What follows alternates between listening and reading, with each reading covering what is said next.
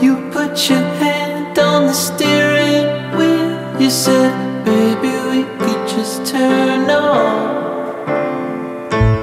I'm sick and tired